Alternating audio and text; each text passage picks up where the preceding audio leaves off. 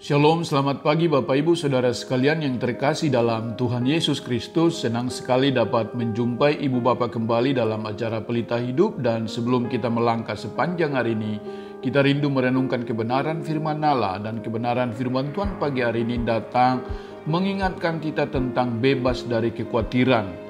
Ibu Bapak yang Tuhan Yesus kasihi, hari-hari ini ada banyak orang yang khawatir dengan kondisi yang sedang terjadi hari-hari ini, takut dengan varian baru COVID-19, takut dengan masa depan, khawatir dengan keadaan, apakah kondisi ini makin baik, khawatir dengan hal-hal yang belum pernah terjadi.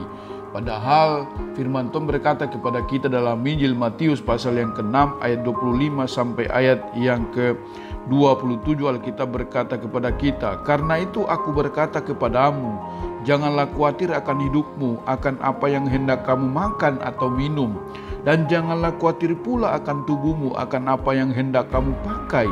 Bukankah hidup itu lebih penting daripada makanan dan tubuh itu lebih penting daripada pakaian?" Pandanglah burung-burung di langit yang tidak menabur dan tidak menuai dan tidak mengumpulkan bekal dalam lumbung, namun diberi makan oleh Bapamu yang di surga. Bukankah kamu jauh melebihi burung-burung itu? Siapakah di antara kamu yang karena kekhawatirannya dapat menambahkan sehasta saja pada jalan hidupnya?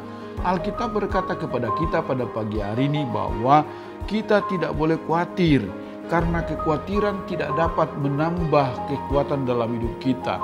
Justru kekhawatiran memperpendek usia kita. Alkitab berkata, apakah dengan kekhawatiran kamu dapat menambah sehasta usia pada jalan hidupmu? Tidak sama sekali.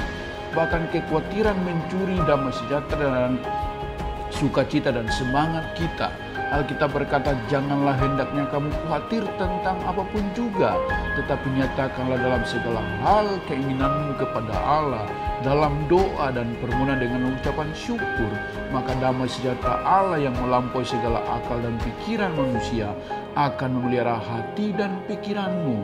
Mari kita belajar berserah kepada Tuhan, karena kekhawatiran tidak akan membawa dampak apa-apa dalam kehidupan kita, tetapi justru kekhawatiran melemahkan semangat kita.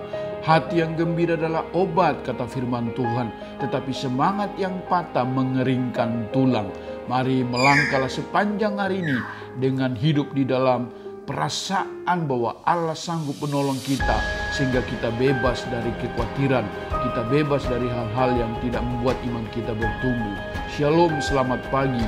Tuhan Yesus memberkati kita semuanya. Amin.